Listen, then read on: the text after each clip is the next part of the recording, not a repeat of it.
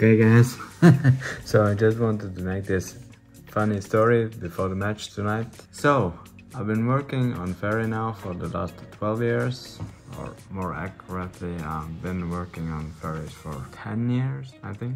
And I had a brief off time on the Norwegian Rescue Society and uh, on the another boat. So, we did got our relief after our night watch.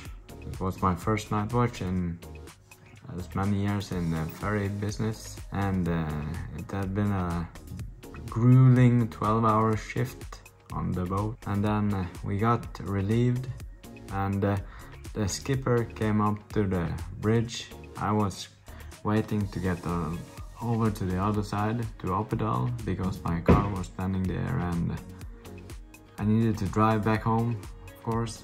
So and then we shake hands and everything and he thought he'd seen me before and I think and I was like yeah no I don't think so. But so we got on talking and everything and he was a nice guy and he had been working on uh, in the on another company for uh, seven years.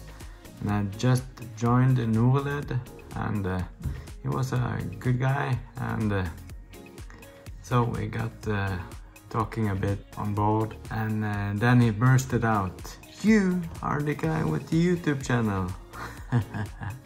And uh, yes. So he was a good guy and uh, he had seen my youtube videos.